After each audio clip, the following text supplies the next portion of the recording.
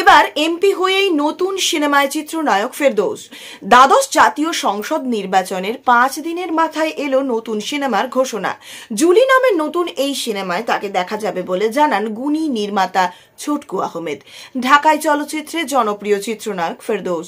বাংলাদেশ, ভারত দুই দেশেই সমানভাবে তিনি কাজ করেছেন। দুই বাংলার জনপ্রিয় এই নায়ক রাজনীতির মাঠেও সফল।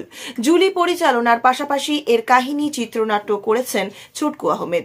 এতে ফিরদৌস ছাড়াও অভিনয় করবেন রিয়াজ আহমেদ, জ্যোতিকা জ্যোতি, অমিত হাসান, রাদিফা সহ অনেকেই। সিনেমায় শিল্পী কলাকুশলীদের সঙ্গে ইতিমধ্যেই কথা বলেছেন নির্মাতা। সব ঠিকঠাক থাকলে আগামী মাসের শেষে অথবা মার্চে এর দৃশ্য ধারণ শুরু হবে। সিনেমায় জুলি চরিত্রে অভিনয় করবেন রাদিফা। তার মায়ের ভূমিকায় দেখা যাবে জ্যোতিকা জ্যোতিকে। আশীর্বাদ চলচ্চিত্রের ব্যানারে নির্মিত হবে এটি। এই বিষয়ে ছোটকু আহমেদ বলেন, দর্শক যে ধরনের গল্প সিনেমায় দেখতে চায়, এটি ঠিক তেমনই। মৌলিক গল্পের সিনেমাটি নিয়ে প্রস্তুতি চলছে। এখন টেবিল ওয়াক করছি। কিশোরী জুলিকে ঘিরে কাহিনী এগিয়েছে। গল্প নিয়ে আর বিস্তারিত কিছু বলতে চাই না।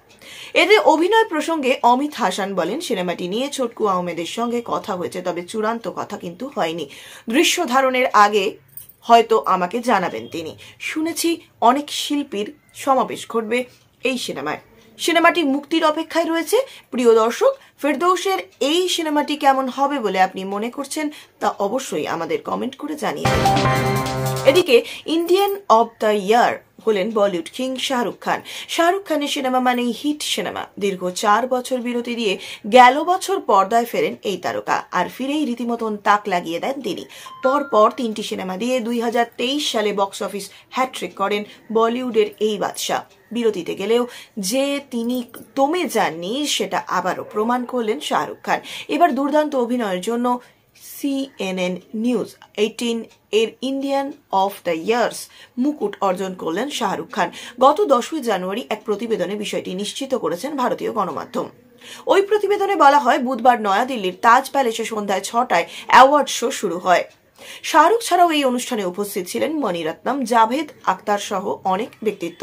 মুকুটটি অর্জন করে শাহরুখ বলেন, সবসময় সবার শান্ত থাকা উচিত, শান্ত থেকে কঠোর পরিশ্রম করা উচিত, আর সেটা হলে সাফল্য আসবেই। প্রত্যাশা ভরা চরিত্রে অভিনয় করতে পছন্দ করি আমি। পাশাপাশি তিনি বিশ্বাস করেন, ভালোর ফল সবসময় ভালোই হয়। গেল বছর সিদ্ধার্থ আনন্দ পরিচালিত পাঠান সিনেমার মধ্যে দিয়ে প্রত্যাবর্তন করেন শাহরুখ।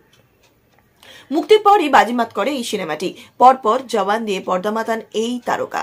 এই সিনেমাটি নিয়েও ছিল ভক্তদের মধ্যে দারুণ উত্তেজনা। সবশেষে মুক্তি পায় রাজকুমার হিরানি নির্মিত ও শাহরুখ অভিনীত সিনেমা ডাঙ্কি।